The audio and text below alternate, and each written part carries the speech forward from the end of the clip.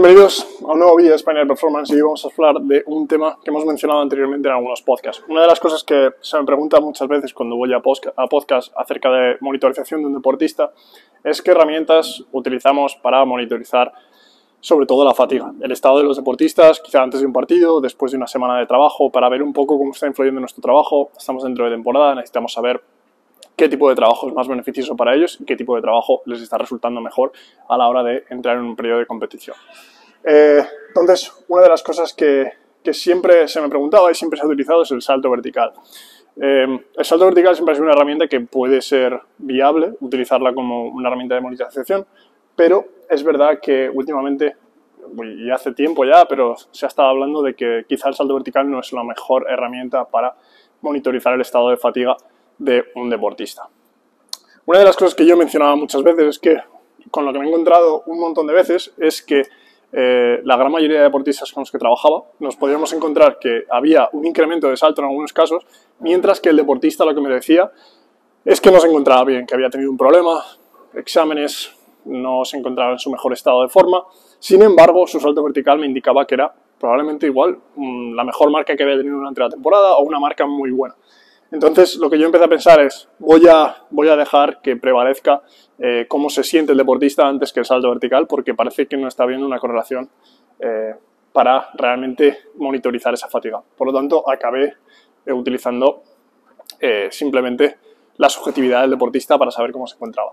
Ahora bien, he tenido la oportunidad de los, los últimos dos años trabajar con plataformas de fuerza y además hablar con expertos y, personas que se encargan del testeo con plataformas de fuerza. Y además hemos estado hablando también en un último podcast con Carlos Suárez, que estuvimos hablando de este tema.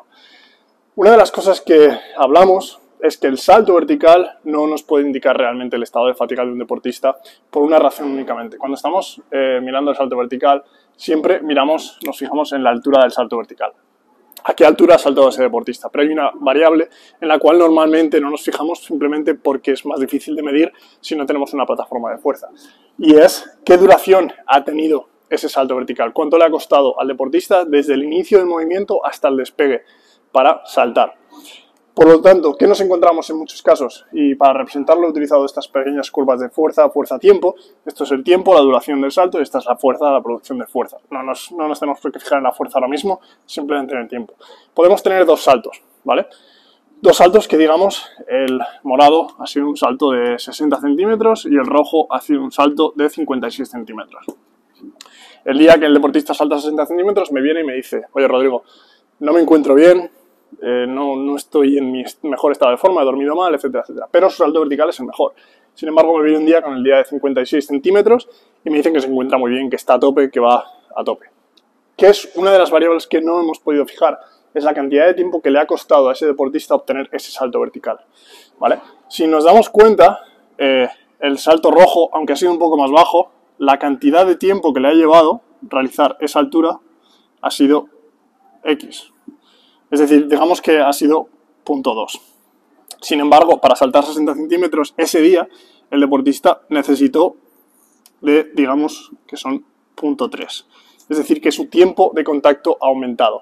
¿Qué quiere decir esto? Que el deportista, a nivel neural, es una de las cosas que nos damos cuenta, es que ha necesitado más tiempo para producir esa cantidad de fuerzas para elevarse a una altura mayor o igual. Si en, este, si en otro caso nos encontráramos que en el salto rojo son 60 centímetros, sí que estaría bastante claro. Es la misma altura, pero la ha conseguido a través de un tiempo de contracción menor. Por lo tanto, esta es la razón por la cual el salto vertical no siempre nos da una buena, o casi nunca nos da una buena eh, información sobre el estado de fatiga. ¿Qué eh, otras cosas podemos utilizar para aquellas personas que disponen de una, una herramienta de plataforma de fuerza podemos utilizar el RSI modificado eh, mediante tiempo de vuelo o mediante impulso momento. Es verdad que esto no está accesible para muchas personas, pero básicamente lo que esto está haciendo es coger la duración del salto y coger la altura del salto. En otros casos sería el impulso, dependiendo de qué variables estamos utilizando para medirlo. Pero utilizando ambas variables nos va a dar un número que va a ser mucho más fiable. Es más, analizando los datos que hemos obtenido durante los últimos años, una de las cosas que vemos es que cuando vemos que, por ejemplo, el RSI va modificando, nos encontramos en muchos casos que el RSI está en su punto alto Y el salto, la altura de salto, puede que nos la encontremos no siempre en sus puntos más altos, sino que nos la encontremos al revés en muchos casos. Es decir, que con máximo RSI tiene una menor altura de salto. Pero esto nos está indicando que probablemente su estado de fatiga es mejor y se corrobora muy bien con el estado subjetivo del deportista en la gran mayoría de casos. Por lo tanto, esta es una buena herramienta. Lo que podéis mirar en el podcast de Carlos, que os, os lo dejo por aquí, es que el, RSI simple que sí que se puede sacar con la aplicación de MyJump, por ejemplo, de Carlos Balsalobre, es una buena opción también para medir esta fatiga y nos va a dar mucho más, mucha más información acerca de la fatiga del deportista. Eh, no es lo mismo y si tenemos la posibilidad estaría bien tener las dos, pero en el caso de la gran mayoría de personas que no tienen la disponibilidad del RSI modificado, el RSI por sí mismo sí que va a ser una herramienta que nos va a dar información muy viable y todo el mundo la puede conseguir a través de esta aplicación que os he comentado. ¿vale?